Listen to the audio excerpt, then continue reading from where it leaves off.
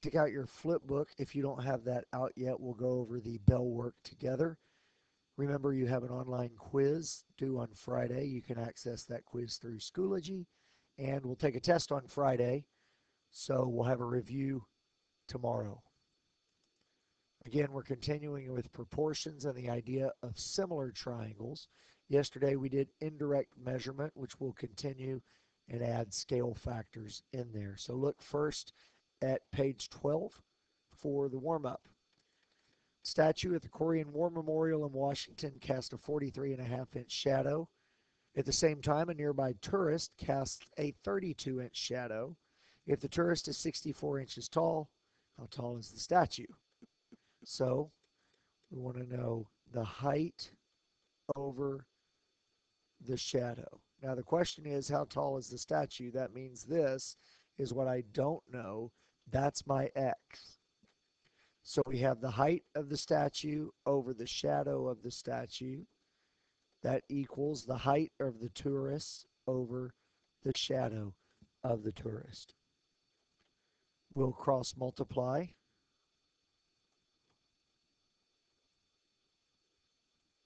And that gives us 32x equals 2784. Dividing both sides by 32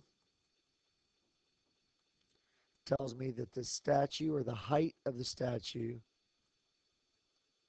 is 87 uh, feet tall, inches tall, inches tall according to this problem.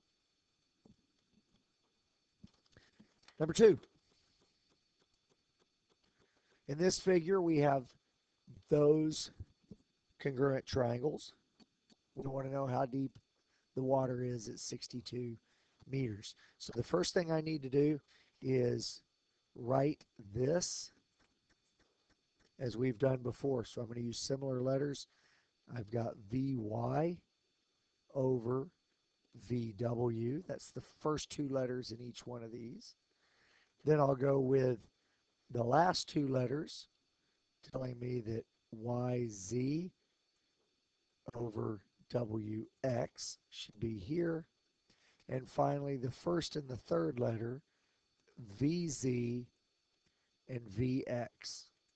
So I've got those three ideas, and then I want to take what's given in this uh, diagram and write it on the, the equations. So this WX, it says that's 5. That goes right here. YZ is what I'm looking for. YZ, that's up here. So that's the depth. We'll use the letter D for that. VW is 3. That means this is 3. And VY is 62. That's this. So those are the parts of the equation that I'm going to use. 62 over 3 equals D over 5. I'll cross multiply now to get 3D equals 62 times 5, which is 310. And then I'll divide both sides by 3 to get that the depth is going to be 103.3 meters. You can pause the video at any point if we need to catch up on the writing. Question number three says determine if the triangles are similar. Determine if the triangles are similar. So I want to find, I'm going to put the left triangle on top and the right triangle on bottom. So the first thing I do is find the two shortest sides, 3 and 16. And then I find the two medium sides, 4 and 18. And then I find the two long sides, 5 and 20. And the question is, is what I just wrote true? Well, if you're not sure, you could grab a calculator and divide those things out. So this is 3 over 16. Well, that's that. 4 over 18. That's not the same thing, and I don't even really need to do this but I will. And we'll see that these numbers are not the same. If any one of them is different, then it's not similar. So those things are not true. No. The triangles are not similar.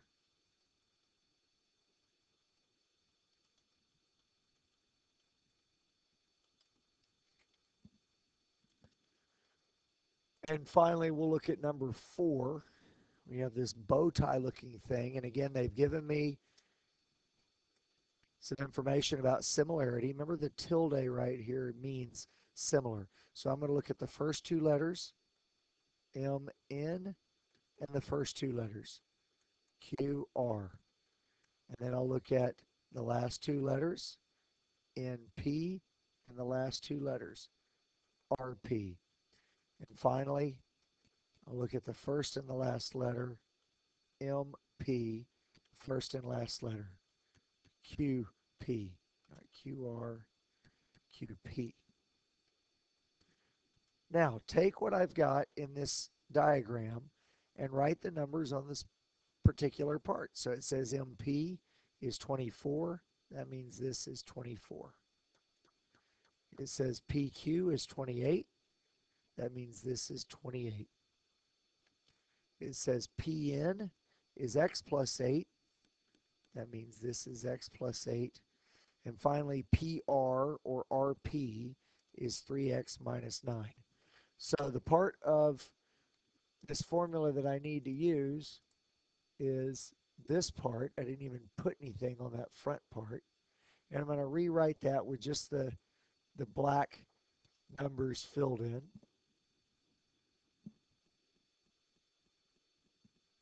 And so we get x plus 8 over 3x minus 9 equals 24 over 28.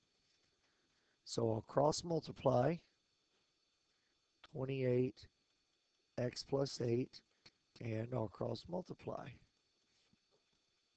24 3x minus 9. Then I need to distribute and solve that equation. This is 28x. 28 times 8, I can use the calculator for that, um, but it's 224. And then over here, 24 times 3x, again, use the calculator on that, that's fine. And 24 times negative 9 is negative 216. So I'm going to move the 28x over here.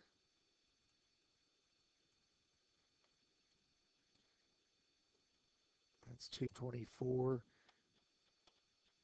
equals 44x minus 216. I'll add 216 to each one.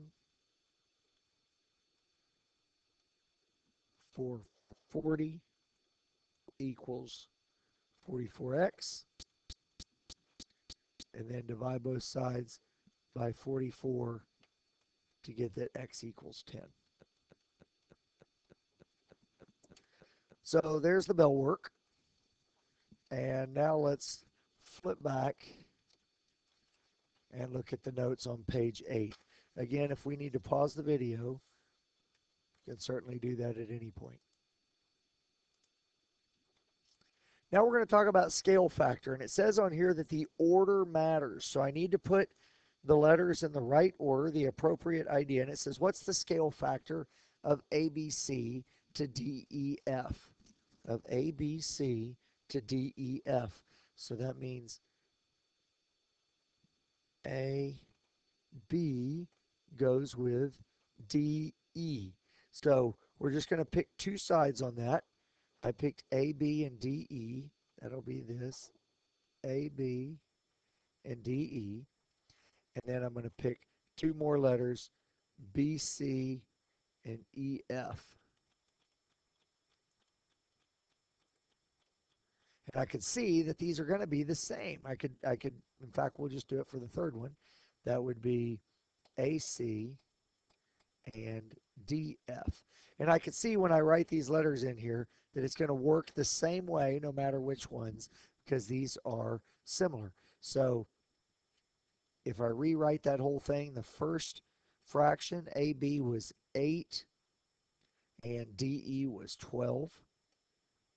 BC was 10 and EF was 15 and AC is 18 while DF is 27. If I were to use my calculator to simplify all of those, 8 divided by 12, 10 divided by 15, and 18 divided by 27, they're all the same. So this will reduce to two thirds. That's the scale factor. Now, really, I didn't need to do it for all three of them. If I do it for one, it's obviously the same for each of them because the triangles are similar. So now I say the scale factor of DEF to ABC. So this is looking at it in the other way. I'll put DE on top and AB on bottom. So DE is 12. That's what goes on top. And AB or 8 goes on the bottom. And that reduces down to 3 halves. The scale factor is just flipped over. Next question says, see it's up here. It says, what's the ratio of the perimeter of DEF to ABC? Now this says, what's the scale factor of DEF to ABC? The ratio of the perimeter works out exactly the same way, but we could count the perimeter and see. So if I add up the sides here, this is 12 and 15 and 27, 54. If I add up the perimeter over here, it's 8 and 10 and 18. And if I make a ratio in that order, it's 54 over 36, which reduces down to 3 halves, just like the ratio of the scale factor. All right, the next one says if the Figures below are similar with a scale factor of 6 to 5. Find the value of x.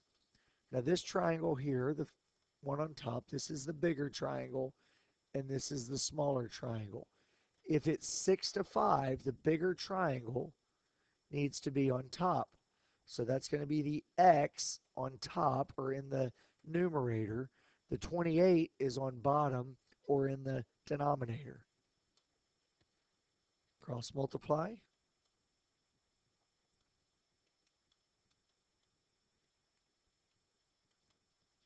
Six times 28 is 168. And then when I divide both sides by 5, I get that x is 33.6. Of course, you could use your calculator uh, to do that as well.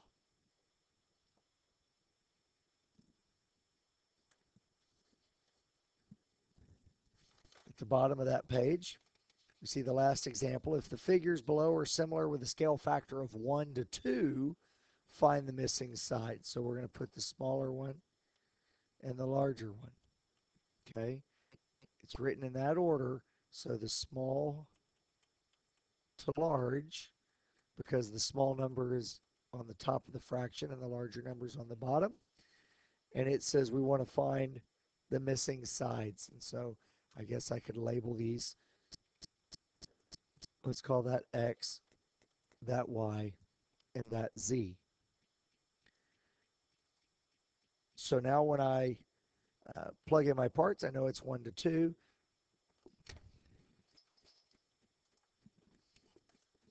And so I'll look at the bottom piece right there, and I can see this is X over 4, cross multiply